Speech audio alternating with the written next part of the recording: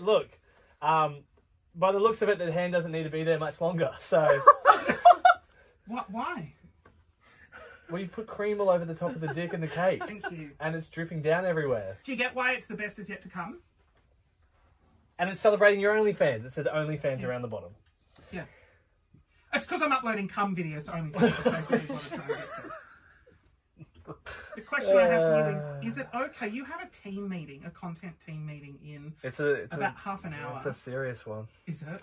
Got to set the tone early. Well, um, why don't you fire who you need to fire, and then I'll walk in with cake, and we can all sing happy birthday to Oh yeah, we'll give it. Yeah, let- let's give a piece to their support person. Uh, Uh, now you can say look, no. I no, I, no. Look, I, look. I, I want to celebrate everybody in the team and their own individual pursuits.